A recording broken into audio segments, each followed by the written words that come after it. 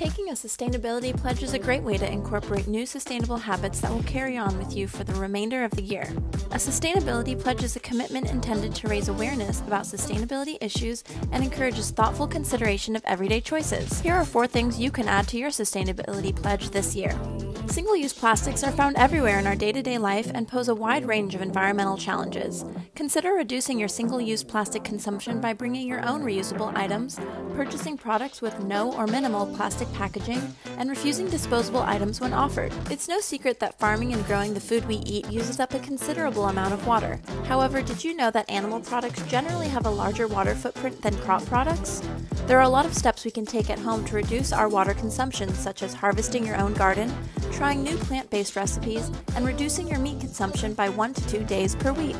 We are constantly plugged in and consuming energy resources with almost every action we take. Consider unplugging and taking a mental break to recharge yourself by taking a walk, reading a physical book, or just sit outside and enjoy the sun and fresh air. Next time you're looking to make a purchase, vote with your dollar and consider supporting your local small businesses, farmers markets, or zero waste store.